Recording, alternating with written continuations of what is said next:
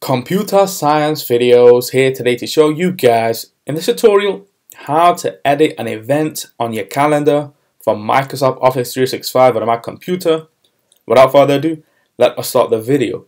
So in this tutorial, you need to have access to a Mac computer and account for Microsoft Office 365. This can be for work, school or business. So we can now go all the way down to the dock, go to the web browser which is Safari in this case. Now go to office.com make sure you are signed into the account. Let's now go to the left hand side navigation menu, go to all applications, go to explore the applications, and now go to calendar. Let's now create a new event that we will later on come to edit.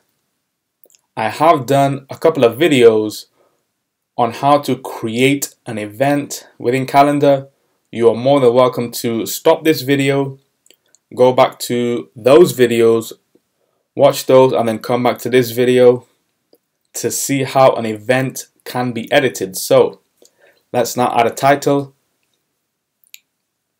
upload a video to social media.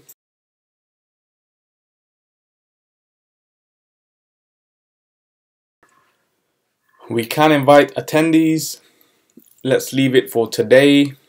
Let's change the time to 5 and we can add a description but that's for another tutorial. Now let's click on save. So let's now quit Safari.